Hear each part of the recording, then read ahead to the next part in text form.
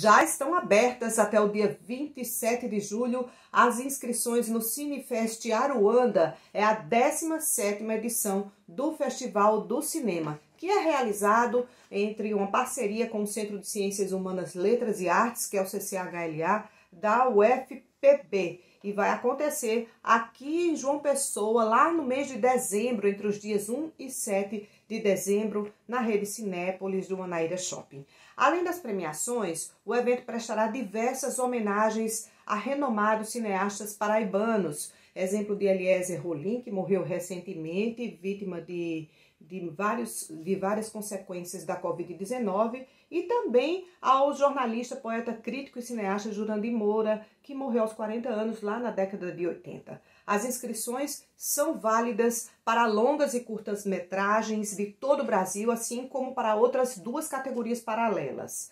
A TV universitária, que reúne documentários, programas de TV, interprograma e reportagem e também a produção universitária, sendo esta última restrita apenas à Paraíba, abrangendo curtas de TCC, que são trabalhos de conclusão de curso, filme publicitário e também videoclipe.